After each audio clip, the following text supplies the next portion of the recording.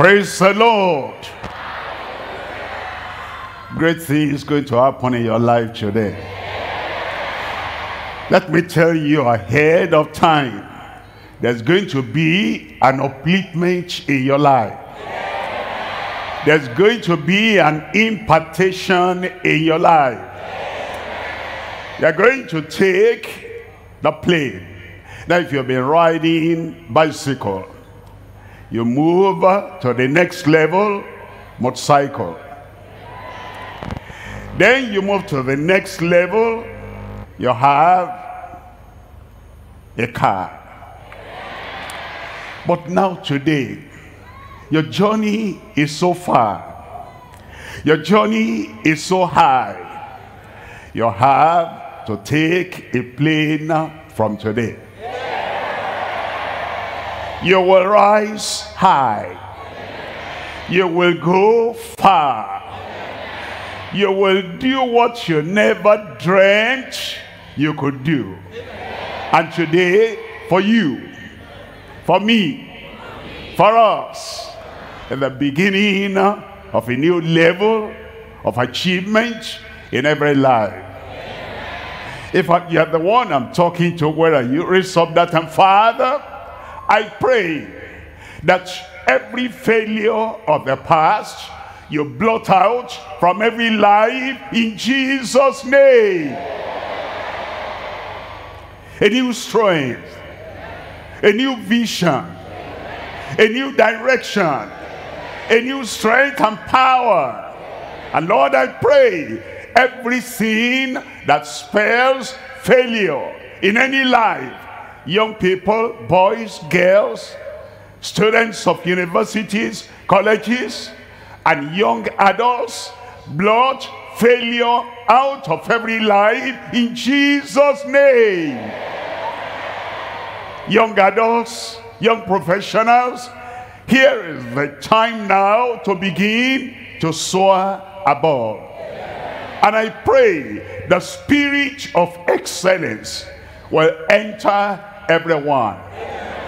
We'll begin to walk, will not be weary.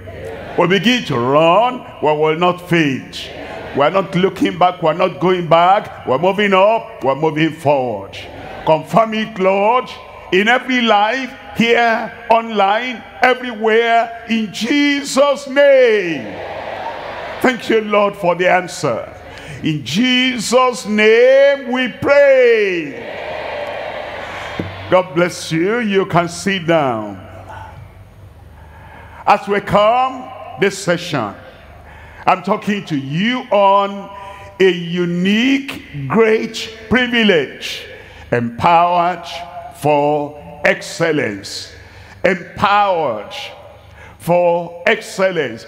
The privilege we have, great privilege we have, unique privilege we have, a great, unique privilege, empowered for excellence. There's a verse in Deuteronomy, reading from chapter 8, looking at verse 18.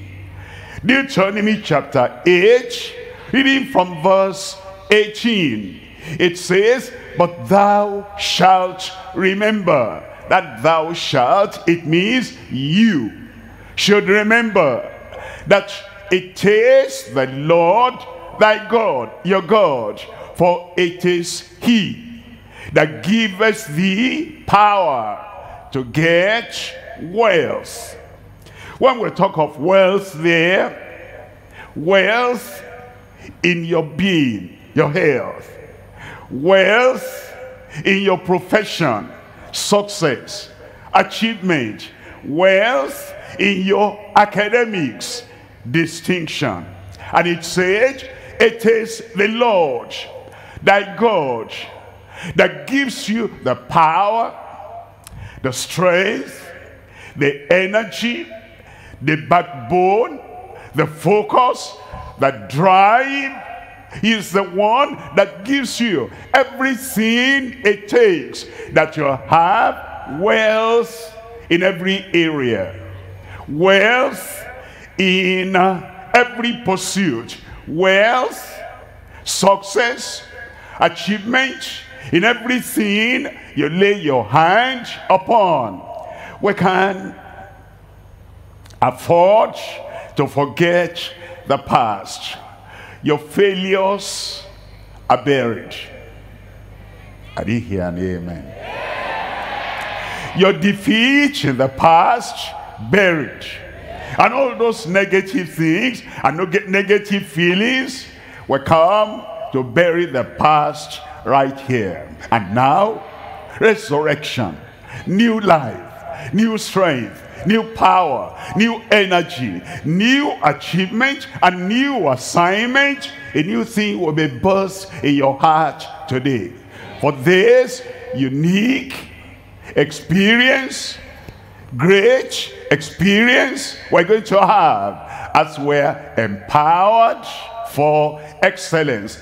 I'm talking to you on three levels today. Number one, I'm going to talk on the teenagers, point number one. Number two, I'm going to talk to the students, college students, university students, higher institution students, point number two. Number three, I'm going to talk to the young adults the young eagles and the young professionals and the ones who are between the adult life and the youth life and you are ready to do what it takes and you are going to mount up even from this very day in Jesus name.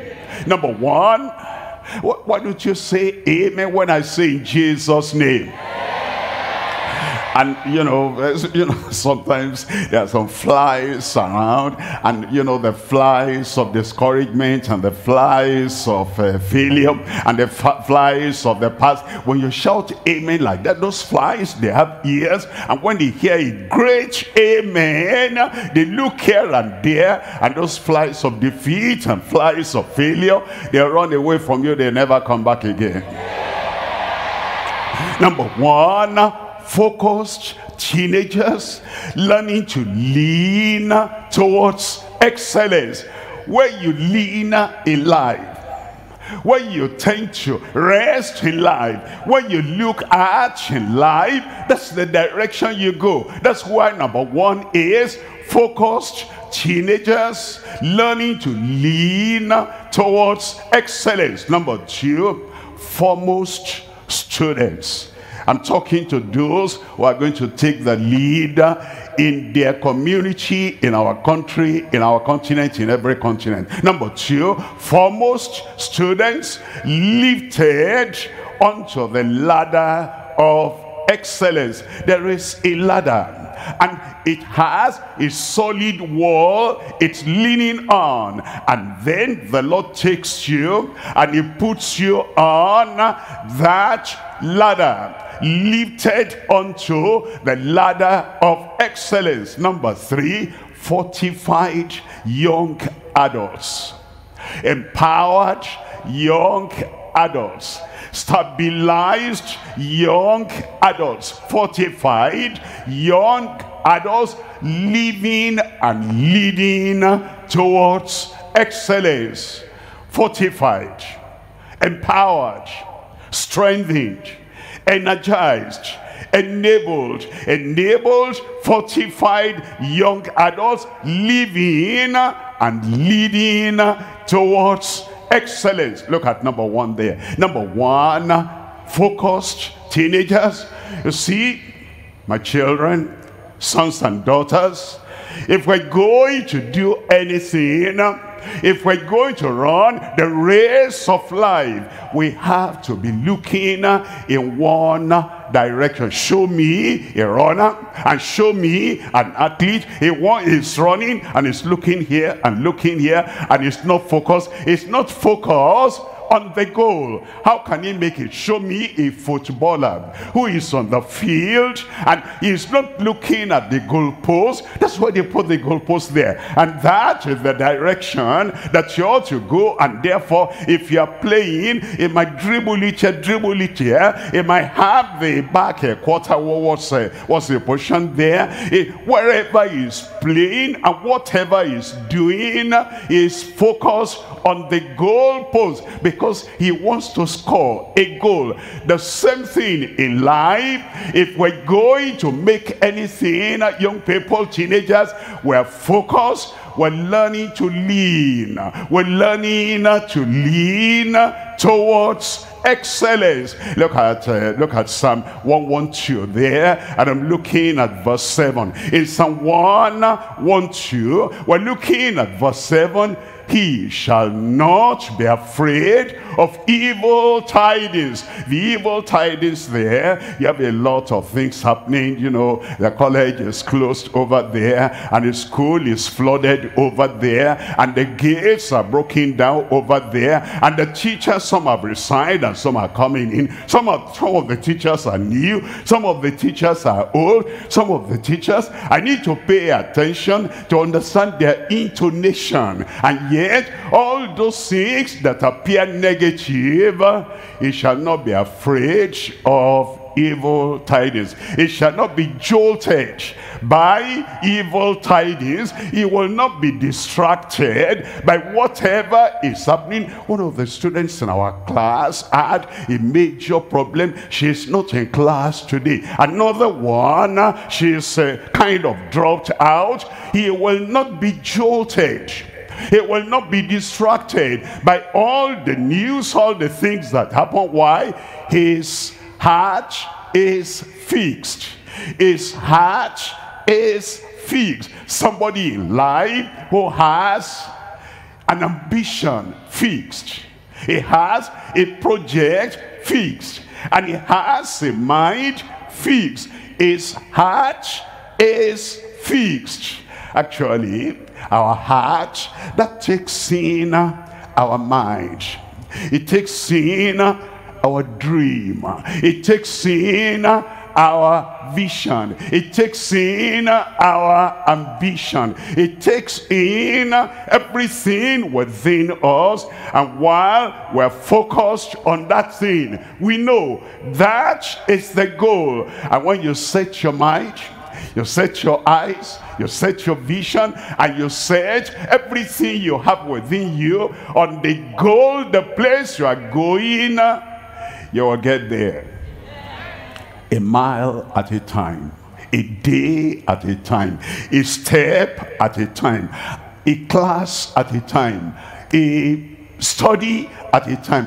One, one, one the hour is made up of minutes. And when you spend qualitative minutes and you push everything into every minute and then you have one hour at a time. And you have one day at a time. And you have one assignment at a time. And every time you are focused that hour you are focused that day you are focused in the class. Whatever you are learning, you are focused one lesson at a time, one class at a time, one day at a time. Everybody can do that. Uh, you say, our problem concentrating. You can concentrate for one minute, concentrate for one minute. You can concentrate for one hour. You can concentrate for one class. You have that focus. And it says, is heart, is mind, is fixed. That's it. Person is learning to lean towards excellence. There are three things I'm looking at here. Number one, number one, the passion and love for excellence. Number two, our pursuit of learning to be excellent. Number three, the perseverance of those leaning towards excellence. Three things. Number one, passion. Number one, number two, pursuit. And number three, perseverance. Look at number one there. Number one is the passion and love for excellence. In life, we only do what we love. If you are neutral, if you don't have any love, you don't have any flair for something, you might know, okay, it's good, okay, other people can do it, but because we don't have love for it, we don't have passion for it. We don't have a burning desire for that thing. We don't get it done. Maybe you have the ability, but you don't have the love for it. You don't have the liking for it. You don't have the passion for it. You don't do it, for something that you, you've seen that I'm going over there. But I need this bridge of secondary education. I need this bridge of college education. I need this bridge of personal education. And because of that, I grow to love that thing. I love it not for its sake I love it for the goal, for the sake of the goal I want to reach. Uh, you see,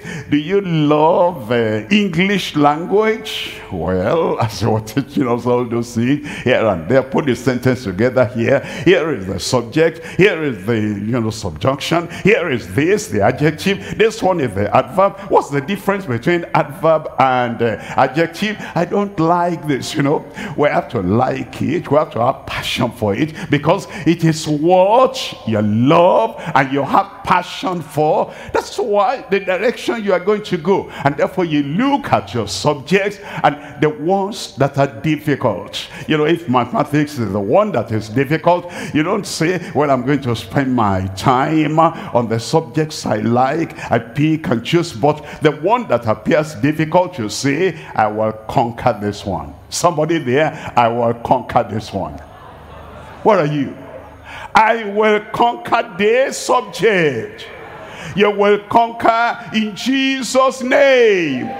Passion passion, passion. You love, you get to love it. And you know, uh, sometimes you meet somebody for the first time. Uh, maybe there's something about him about her you don't like, something about her you don't appreciate. But as you talk together, interact together, and as you talk together and share minds together, although you didn't like him, you didn't like her at the beginning, in time, you grow to love each other and you grow to like each other. The same thing. This subject, I don't like it. This subject, I don't want to give my time to it, but take it up again and do some what we call remedial learning. The things you have learned in the past, which you didn't really fully learn, go back to it. It will be simpler now. And then you interact with that subject, interact with the teachers, interact with the textbook, interact with the questions of the past, interact with the questions and answers of past exams. As you do that, you create passion and you create love for excellence. Look at uh, somebody is uh, Daniel chapter 6 and I'm looking at verse 3. It says, then this Daniel, I like that, this Daniel, it says there are many kinds of Daniel and many forms of Daniel, but this one that we're talking about, this Daniel, what's your name? I said, what's your name? All right. Mine is William. I say, this William. Say your own. Talk. This Daniel. You know, you have to get yourself out of the bunch. Get yourself out of the crowd. You know, if you're just following the crowd, is the way they're moving and you're moving there, you don't get yourself out and be a special person. You'll be part of the crowd. But when we're able to talk about you and we say, this Daniel was preferred above the presidents, above the leaders, above the chairman, above the princes, because, because because, because an excellent spirit was in him. And the king thought to set him over the whole realm. That's what will happen to this youth. To that youth excellent spirit will be in you. Now, what's the demonstration, manifestation of such an excellent spirit? Daniel chapter 1, I'm reading from verse 8. It said, but Daniel, you know, all the other things, they go normal, all the stream flowing normal. But Daniel, when he comes in, there's a change. And today, from today, when you're coming, I said when you're coming, I said when you're coming, there'll be a change. Other people have been talking failure, they're talking defeat, they're talking impossibility, and that. But Daniel, as you come, thank God there's a change today. Thank God there's a transformation today. It's happening in your spirit. It's happening in your soul. It's happening in your inner man. But Daniel purposed in his heart that he would not defile himself with the king with the portion of the king's meat. No, with the wine which he drank. Therefore, he requested of the prince of the eunuchs that he might not defile himself. Now, Daniel, why? He said, because I define myself. Therefore, I will not defile myself. You have to define who you are. You have to define why you are here. You have to define why you are in college, in school. You have to define what you want to take out from here.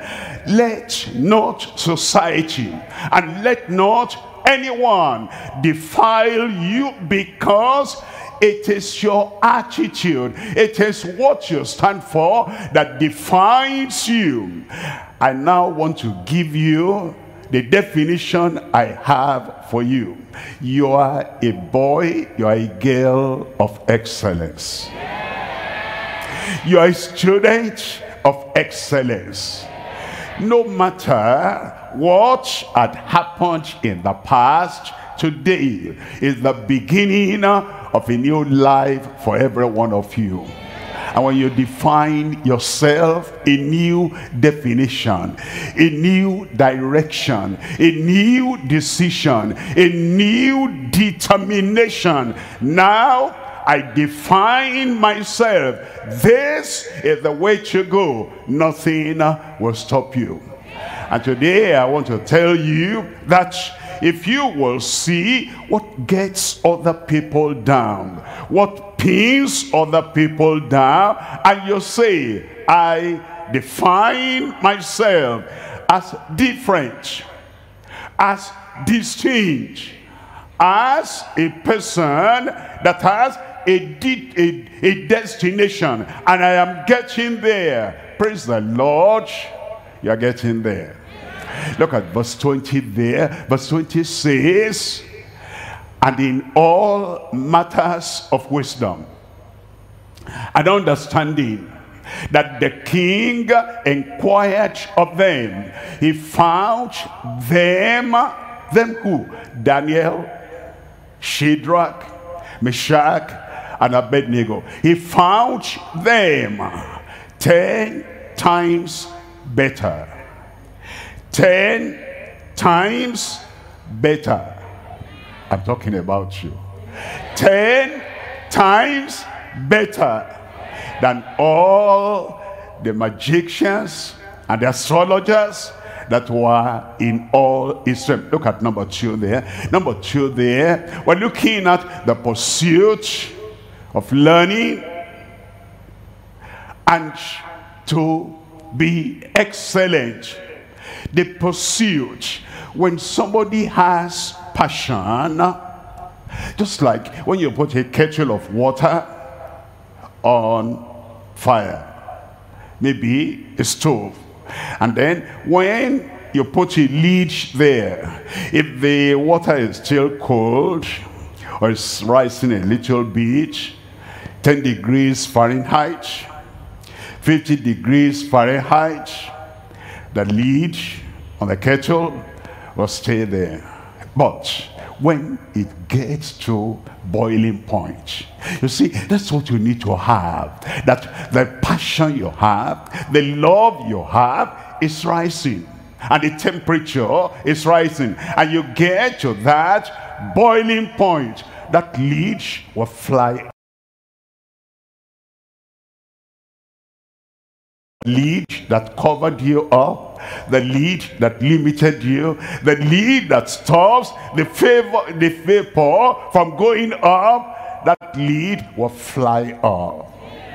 It is what is in you that causes that movement that you now pursue. Passion leads to pursuit. Uh, look at that one. He's not pursuing anything. Wakes up in the morning and then during the day, the whole day is gone. And there's no progress. He didn't even add a mile. He didn't have a yard. He didn't add a meter to his progress. Why? There is no passion, so there's no pursuit. But when you have uh, the passion, and there's something on the inside of you boiling you will move on. Greater knowledge and greater achievement in Jesus name. Look at Proverbs chapter 9 I'm reading from verse 9 Proverbs chapter 9 reading from verse 9 give instruction to a wise man and he will be yet wiser.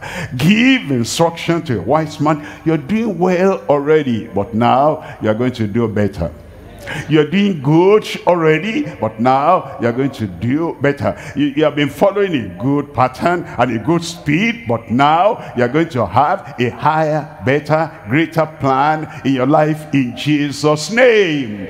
You see the one that said, I've learned enough. I've known enough. Why do I need to go to the next class? Why do I need to go to the next level? He's forgotten what we're told here. Give instruction to a wise man. is already wise. He has the foundation and the basis of being wise. He will be yet wiser teach a just man and he will increase in learning. I pronounce that increase upon every life here today in jesus name.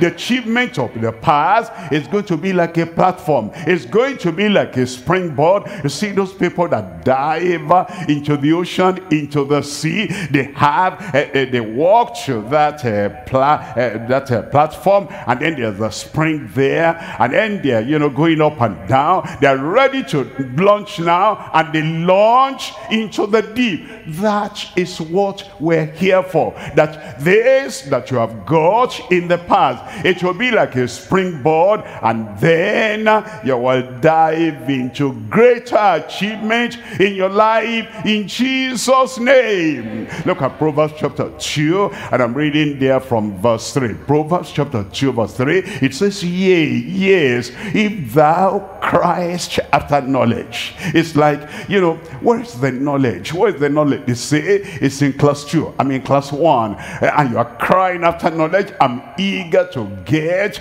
to class two. Because what I'm looking for is in that class. Now you are JSS and, and you say, I want knowledge, I want knowledge. They say it's in senior secondary. And you say, I am eager to go there. Everything that needs to be done, you do it not because you are crying after knowledge. I finished my secondary school, but I'm still pursuing knowledge. It's a pursuit, and I'm running after, I'm driving after. You're not allow yourself to say, you know, to take that school cert. I'm telling you, we're ready in the day, we're ready in the night. I don't know what I'm going to do now. You see that there's still knowledge. You're still not the periphery of knowledge. Because of that, you have a pursuit. And you just take this as the springboard. And you're learning to be excellent. And it says if thou Christ after knowledge and liftest up thy voice for understanding. Then in verse 4 it tells us in verse 4 it says if thou seekest her as silver. Like other people are seeking for silver, you're seeking for knowledge, you're seeking for increase, and searchest for her as for hidden treasures. And then in verse, uh, look at uh, verse uh, 4, verse 6, it says, For the Lord giveth wisdom, he'll give you wisdom. And then it says, out of his mouth cometh knowledge. He'll give you knowledge and understanding. You will have. I will have. I will have. Number one is the passion Number two is the pursuit. Number three is the perseverance. Perseverance, that word, perseverance, means that, you know, sometimes a flesh is not stone. A brain is not made of iron or steel. Because of that, we sometimes get tired. We sometimes get weary. And we sometimes it's like, should I go on? Can I go on? Can I do it? And that's the time this virtue of perseverance comes in now. Perseverance is a virtue. And we're not born with perseverance. When a baby is born, if there's any need, cries. If there is any attention he wants, he cannot endure that quietness from the mother or from the family. He cries. When he cries, we are not born with perseverance. But perseverance is such an important virtue. We have to cultivate it. We have to, in cultivation, we plant, we water, and then we see we fence around what we plant so that it will grow. The same thing with perseverance. Perseverance in our lives. Number one, we plant that perseverance. How do I do that? I see those athletes. Don't they get tired? Yes, they do. But they keep on running. They keep on running. They persevere. They neglect their pain. They overlook their pain. They overlook their tiredness because they know they are in a race and they want to get to the destination. And then when you see them, if he can do it, I can do it too. If he can pursue, I can pursue too. If he can achieve, I can achieve too. You see the doctor, prof that spoke to us at the beginning. You see where he was. You see what he did. There'll be times of discouragement. There'll be times of tiredness. There'll be times when the person will say, why am I born in this locality? Why am I growing up in this local government? Why am I going through all this? But he made use of is intelligence, intellect, mind, and then uh, if he's to get a kind of old machinery, I'll get it. If he's to do something uh, very minimal and small to remain alive, I'll do it. And if it is to go for a kind of a training that is not full-time but part-time, I'll do it. He gets tired. He gets weary. He gets unhappy when he compares all the people that are having it easy in life. It will come like that. But it is when you say, I will persevere. I will move on. I will endure. And I will go through whatever I need to go through. And you persevere like other people have persevered. You will have that planted. And then you nurture that. You nurture that. What we hear, we practice. What we hear, somebody said he persevered. And it's the way he did it. And I will do it. And then you nurture that. It begins to grow. But then uh, you must understand what would lose if you allow perseverance to get to the level I've endured enough I have run enough. I have gone that way enough. I have fought my tiredness enough. You see, when you stop, everything will be going down. You have to have opportunities every day to persevere. As something comes, you've overcome tiredness in that area, and you've overcome weariness in that area. Another area comes now, you're getting tired, you're not give up. Today, you must persevere. Tough, you must persevere. Because when tough times come. Tough people keep on persevering. But the people that say it's tough, and because it's tough, I'm going back home. I can't do anything anymore. Tough times come. And tough people, tough teenagers, persevere. You'll persevere. I said you'll persevere. And look at this, look at Proverbs chapter 3, I'm reading from verse 14. It says, For the merchandise of each is better than the merchandise of silver and the gain thereof the fine gold. Do you see businessmen how they persevere? Do you see the people who are running after sales how do you persevere? I, I knock on that door as a salesman. And the fellow there opened the door and said what do you want? Tell me in a minute.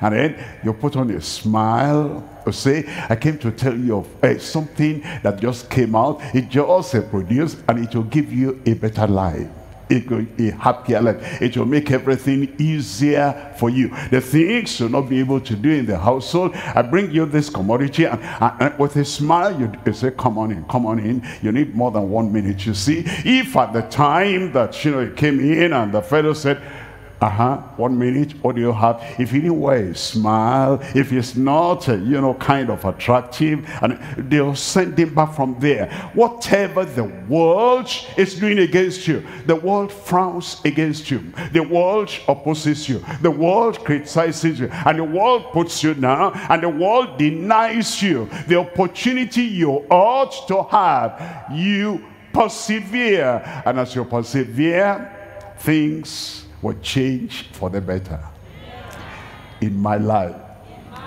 In my life.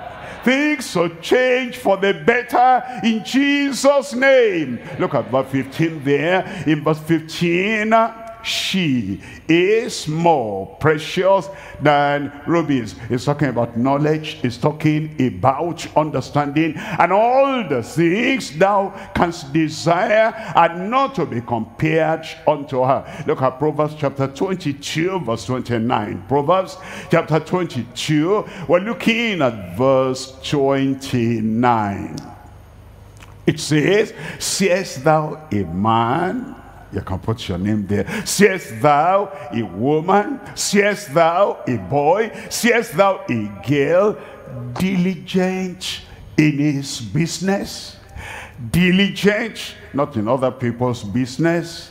Mind your own business mind your own business now when they tell us that we shouldn't be offended is saying ah, why are you prognosing why are you trying to change something that doesn't belong to your realm and to your area? Why are you trying to help other people and you're not helping yourself?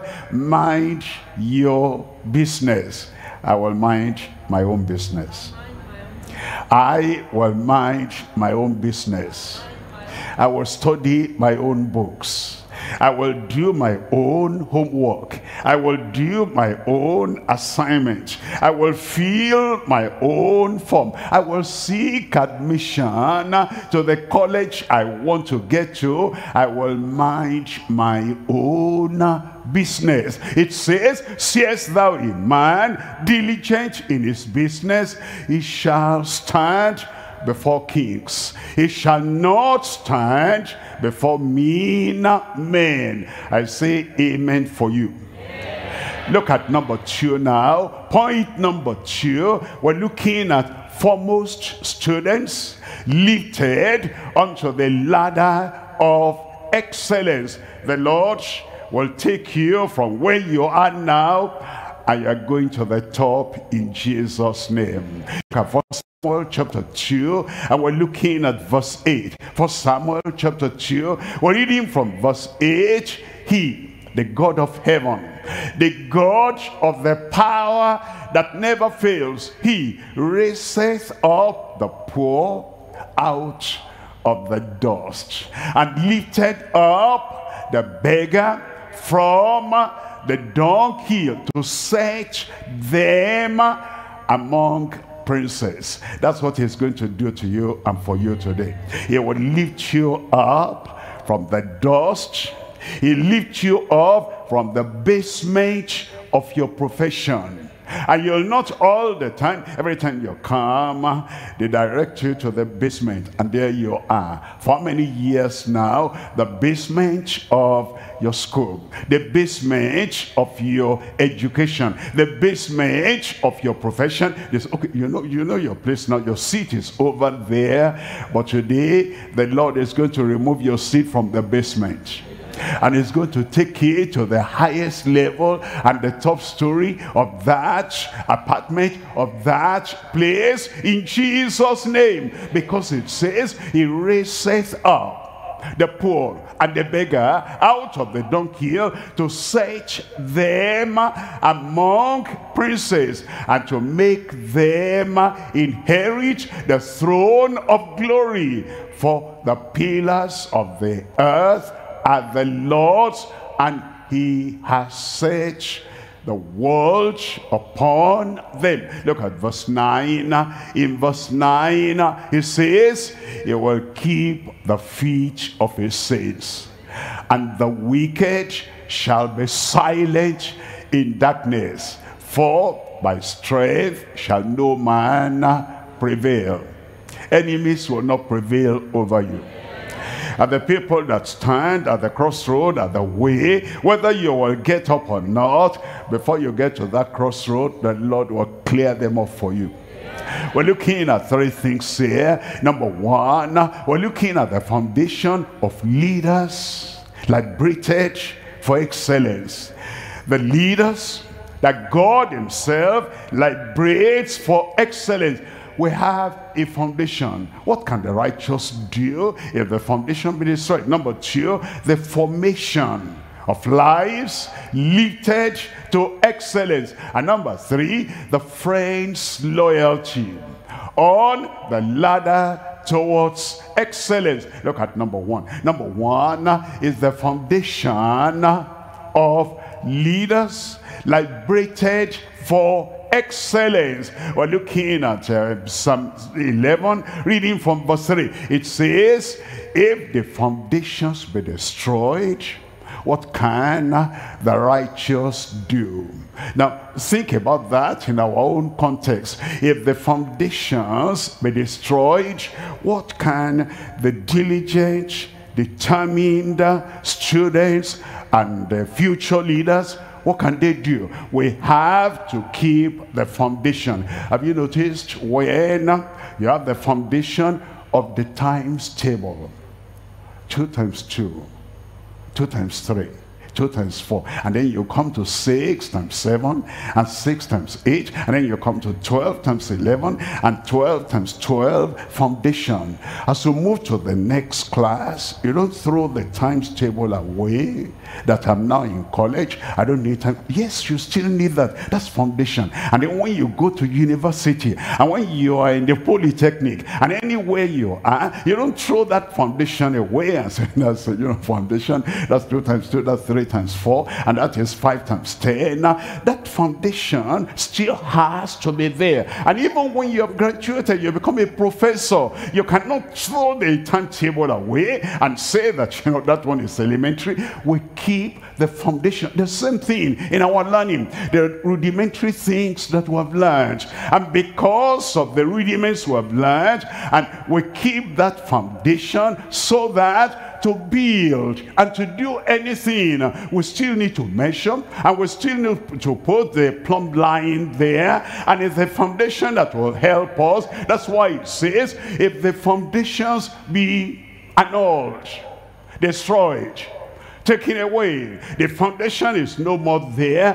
What can the engineer do? What can the doctor do? And what can the nurses do? What can the tailors do? What can those professionals do? If the foundation, the basic knowledge they learned at the beginning, if they throw that away, that means that whatever we're doing now, whatever we're, wherever we are now, we keep that foundation. And then when it comes to the moral life, to the spiritual life, to the religious life, we have the foundation. And if the foundations be destroyed, what can the righteous do? Look at uh, 2 Timothy chapter 2, and I'm reading from verse 19. 2 Timothy chapter 2, and we're reading from verse 19 here. It says, Nevertheless, the foundation of God standeth sure. Nevertheless, the basic understanding we have that God is and that God still remains today and that God is a rewarder of them that diligently seek him that foundation the foundation of God standeth sure. The foundation of the love of God. The love of God for you, for me, for everyone. The foundation of God standeth sure. The foundation, he hates evil because it's a good God. He hates unrighteousness because it's a righteous God. He hates anything that will hurt your neighbor because it's the God of all creation, the God of all flesh we need to keep that foundation. And it says, nevertheless, if the foundation, the foundation of God standeth sure, having this seal, the Lord knoweth them that are his. And let every man, every one that nameth the name of Christ depart from iniquity. I need a good amen. We're coming to number two here. Number two here is the formation of lives lifted to excellence. God wants to lift you up. And today, he will lift you up. Where are you there? God bless you there. Because he is the God who forms us and reforms us, who changes us, and then he makes something better out of our lives. Now, in the formation, if you're forming something, have you looked, looked at uh, those people uh, that, you know, they make the pots, they make the cups, they make the plates and all that, and, and they do, they go through the process of formation. Look at that clay, just a lump of clay. And then they'll break down that clay. They will soften that clay. Then they'll have a pattern uh, for the mold of that clay. And eventually, when everything comes out, they'll pass it through the heat and through some fire. It becomes solid now. And they put some decorations on what they have made. That's what God does. There is a process of forming us. And he will, you know, he formed us originally, but sin deformed us. Education tries to reform us, but it's not enough. It takes the hand of God that formed us originally to now reform us and refashion us and do something that will become a brand new creature. Amen. And then uh, you also now begin uh, to form and to make the things in your life. Look at Proverbs chapter 24. I'm looking at verse 27. In Proverbs 24 verse 27, prepare thy work without.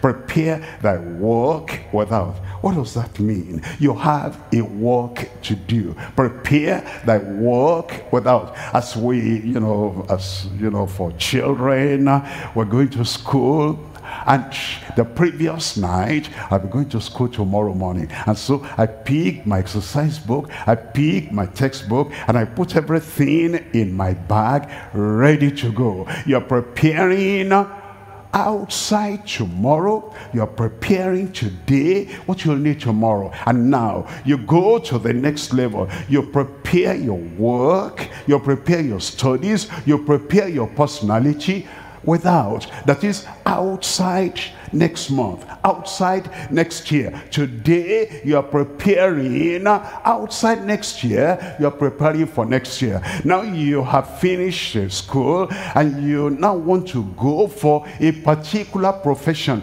You prepare yourself outside that profession. I want to be a doctor. Uh -huh. What subjects will I need? What lessons will I need? I want to be uh, whatever profession. You can mention yours. I want to be that. What do I need now to prepare to get over there? We prepare ahead of time. You see, there are people, they live from day to day, no preparation no formation of anything. The day comes and then they're here today. What do I do today? What am I going to have today? You have to prepare ahead of time. Don't you see this program? This program was said on Saturday, the 26th of November. We're going to have uh, the empowerment for excellence for youth. Before this Saturday came, uh, were prepared. All the things we're going to do, we're going to have, we have to prepare. That's how life works. You have to look at the future. You have to look at what is ahead of you and you prepare ahead of time. Prepare thy work without and make it fit for thyself. Make it fit for thyself. I'm going to run and the shoes I wear, they have to fit. They fit me and they fit the race. Because a slippers will not do. And a real shoe will not do. Therefore, I have to have what will do. You want to play the tennis and then you have to have the real bat you ought to have and everything and sharp eyesight. And you need to know know how to attack that, how to get back that. You see, we prepare everything. But if you don't prepare, how do I prepare? I practice, I practice, I practice. I'm going for one game and I practice a thousand times so that my body my sight, my bending, everything is used to what I want to do. That's how life is. That you're always preparing yourself afterward. Build thine house. Then you'll be able to build a profession now. And then also you prepare yourself. Some people say, I'm going to heaven, going to heaven. And I say, what preparation are you making? they won't need to prepare. I just want to get to heaven. Everything needs preparation. Everything on earth everything in the great beyond will prepare. You repent of your sin, you believe on the Lord Jesus Christ, you take him as your Lord and Savior, and then by the grace of God, you will get there. Ah, I will get there. Look at number three here. Number three, we're looking at the friend's loyalty on the ladder towards excellence. The key, the, the friend's loyalty on the ladder for excellence. And you know what? If we're going to go through life and we're going to make it, we cannot be a lone ranger. We need love, we need understanding, we need help, a helping hand. And it is all that that our friends will friends will come and those friends will help us so that we get to the place we need to get to. Look at Proverbs chapter 17. I'm reading from verse 17. A friend loveth at all times. It's a two-way traffic you to your friend and your friend to you. That if you want a smile from him, from her, you smile. If you want a helping hand from him, from her, you give the helping hand. If you want joy and happiness and satisfaction from him, you give that too because it's a two, it's a two-way um, traffic. It says a friend loveth at all times and a brother is born for adversity. Now, what kind of friend should I have? What kind of friend should you have that will help you? That will make you to go on in the journey that the Lord has given you. Now, I want to ask, the, ask it like a question. Who is your friend? How is your friend? Number one, is he agreeable or aggressive. You see somebody always arguing, always wanting to beat you down, aggressive in even towards you. You see agreeable or aggressive. B, you see brotherly or brutish. Beast. The way he talks, And the way he pounces upon somebody, you see brotherly and nice and friendly or brutal? See, is he courageous or cowardly? The friends we have, eh, the one that is cowardly is not able to do anything. There's always difficulty there. There's always danger there. There's always, uh, you know what, I cannot handle that. You see cowardly. D, you see disciplined or a derelict. You see a disciplined person, he knows when to talk he knows when not to talk. He knows how to relate. He is disciplined. And he considers how you will feel, how you will think. He considers what impact and what effect, what he says and what he does. Is he exemplary or exploitative?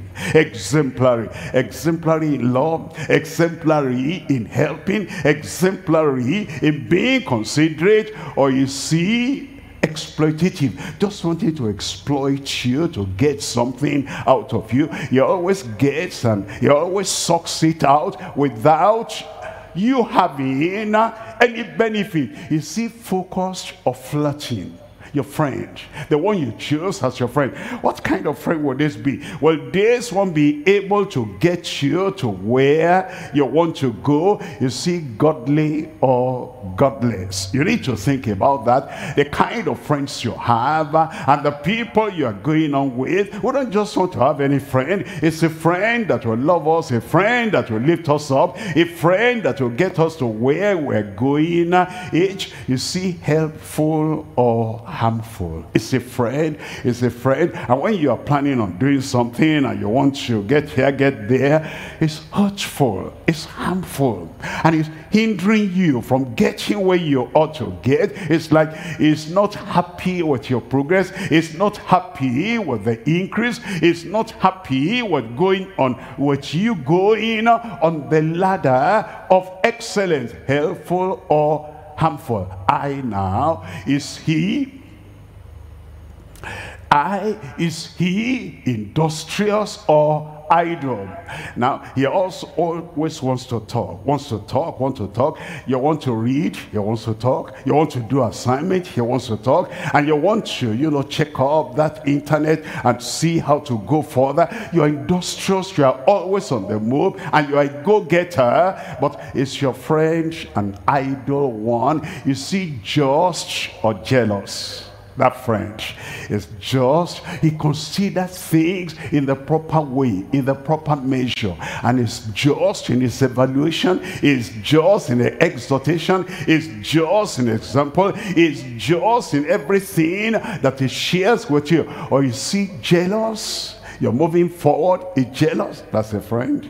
You're moving up and he's jealous, is that a friend? And he's wanting to derail you and he's wanting to, uh, you know, triple you over. Is that a good friend? You see, kind or kidding anything he says, you know, with that plastic smile, you know, he just wants to get at, he's kidding. You can't trust him. You can't trust that. But you see, kind, genuinely kind, these are the friends that will help us. And then we say, you see, loyal or lying. You see, loyal or lying. You know, whatever he tells you, when you hear from another source, you say, ah, this is my friend, but oh, telling me lies. Now, why does he tell you lies? He doesn't want you to know the truth that will make you successful. You shall know the truth, and the truth shall set you free. You see, mindful or meddling. You see, mindful is mindful of your soft points.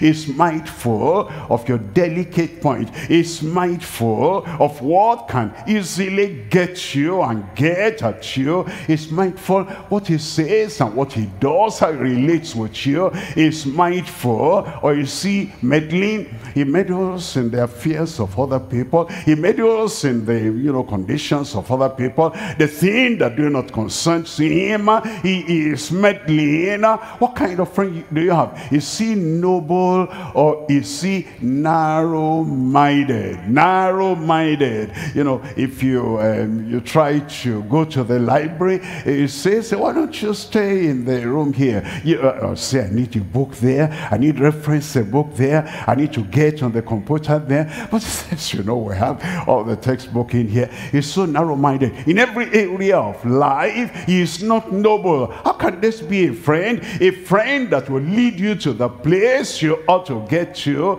And then... Uh, Uh, Oh, is he open or oppressive? Is he open or oppressive? Once he opens his mouth, once she opens her mouth, oppression will come. Is he positive or pessimistic. You always see the dark side of life. You want to move here, be very careful. You want to go there, be very careful. You want to study that, be very careful. You want to join that course, be very careful. You want to get this done, be very careful. Always pessimistic. He, cannot take any risk in life to move out where he ought to move. Or you see positive, you see quiet or quarrelsome. The friends we have, are they quietly just following, saying, I'll watch, I'll look, I'll think before I decide, before I leave. And he's quiet while in the process of thinking through.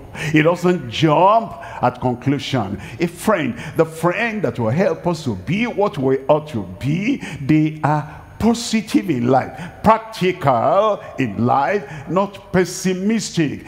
You see, respectable or just rotten. He doesn't respect anybody. Anybody that crosses his way, crosses her way, her language rotten. Her reaction rotten. Her life rotten. Her utterance, the dirty sin that comes out of his mouth, of her mouth, rotting. Is that a friend? Or your friend is respectful and respectable. And then is selfless. He'll think about you. He'll think of your good, not selfish. Which one is your friend? Is he selfless or is he selfish? T is he thoughtful or thoughtless? Now, why do you always say that to me? That discourages me. Oh, I didn't think about that. Why did you tell me that? That puts me down. Oh, I, I didn't think of that. I was happy and joyful and excited before you came. Now you came. This thing you have said now just deflated my balloon. I didn't think of that. They are thoughtless, such people. But your friends, the people that will help you when you want to have a friend, a friend now, a friend that will continue, a friend that will keep on lifting you up on the ladder of excellence excellence, they are thoughtful, not thoughtless. Are they unwavering or unsteady?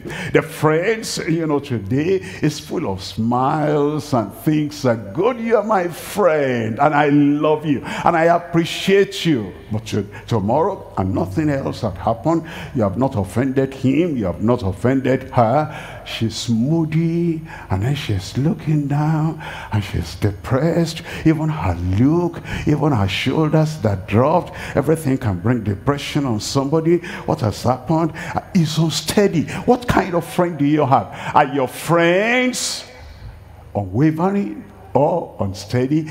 Are your friends virtuous or vicious? Vicious. That your friend they are virtuous. They have virtue and they have things that will lift a person up. Things that will make a person desire to live. I want to come to class, the following class. And the following, because my friend is always an encouragement. And it's virtuous. Courage is a virtue.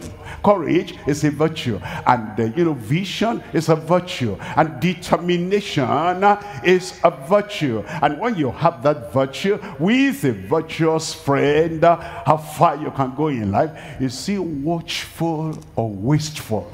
It's your friend, the one you say, that's my friend, that's my friend, and we're going together because you'll not go beyond generally the level of your friend. Is he watchful or is he wasteful? Now, X, is he an ex-sinner or ex-sage?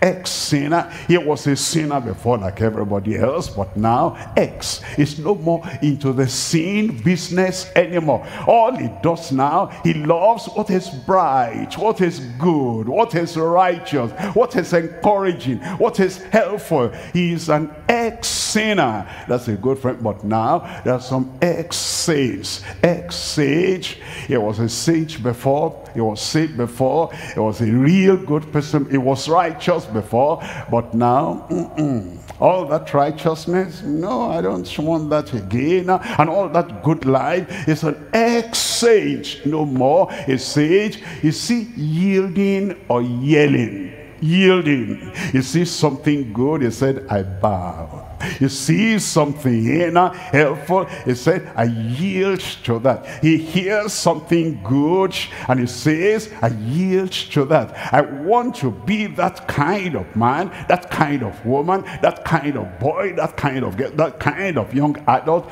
because he is yielding other people when they hear something uh, that demands correction Anything that demands turning around and do something good, it begins to shout, it begins to yell. And you say, what's happening over there? Anybody hurt there? And he's yelling and yelling on top of his voice. Anytime truth wants to penetrate, anytime light wants to penetrate, he has the habit of just yelling and yelling. Now that will not help as a friend. Z, you see, zealous, or does he have zero zeal?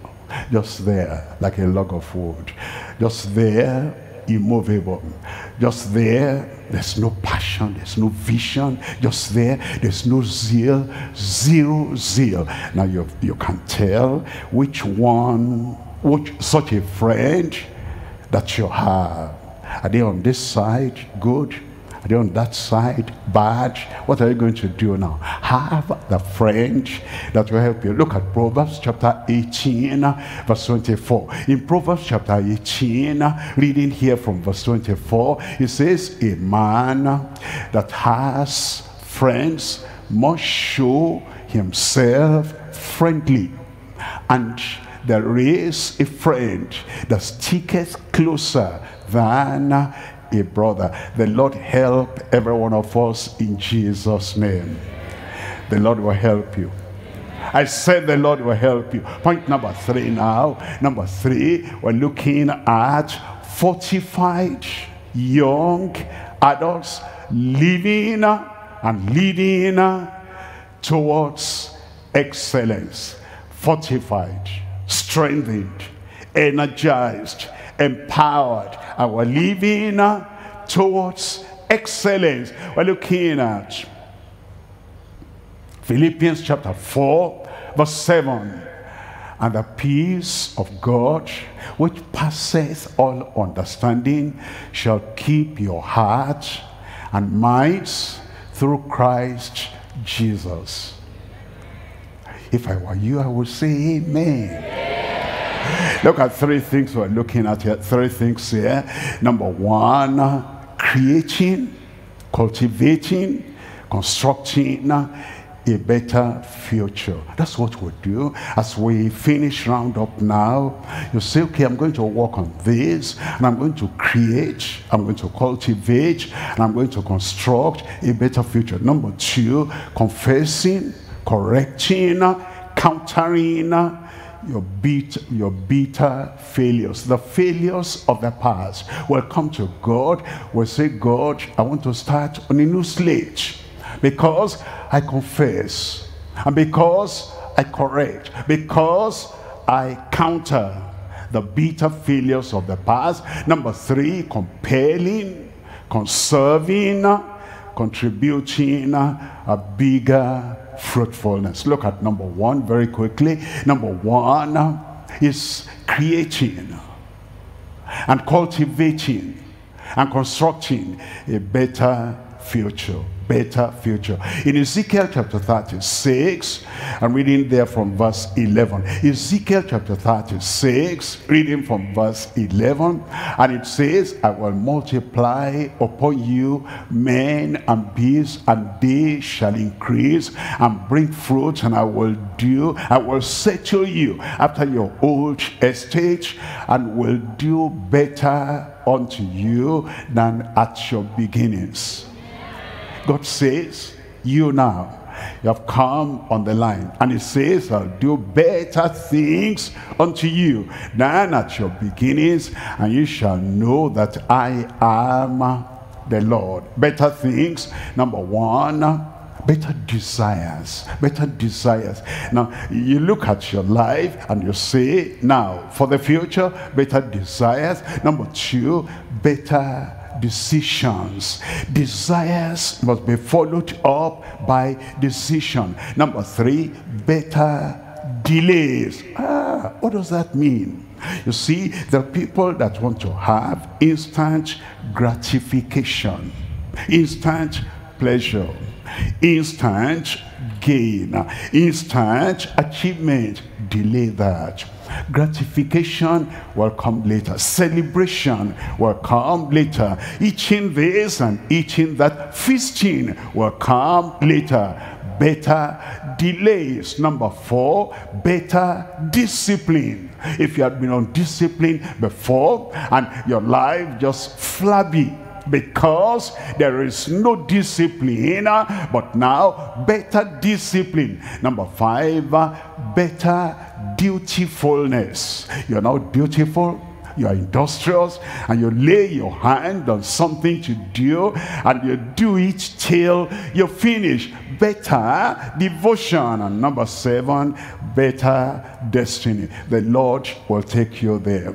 Look at number two here. Number two we're looking at confessing and correcting and countering our bitter failures of the past. You see, as we come to the Lord, we must remember, if I keep on doing uh, the same dumb things I did in the past, the same failure I experienced when I was doing those dumb things, the same thing I will have. But if I say, no, something bitter, I confess that to God, and then I correct that in my life, and what I do now, I counter, I counter, I go against those things that, you know, had brought me down. Look at this number one, bitter speech of our mouth. That's what drives friends away from us. That's what drives lovers away from us.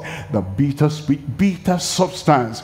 You know, the people that have that substance, they want to go on high and they want to be on top of everything and they want to silence every emotion. Therefore, they take those drugs, those drugs, bitter substance. You get rid of them, bitter slavery. You bring yourself, you're being like a slave to this a slave to that, a slave to that, until that thing overmasters you, overpowers you. You confess that you clean up that you correct that and you counter that and then bitter sweetness.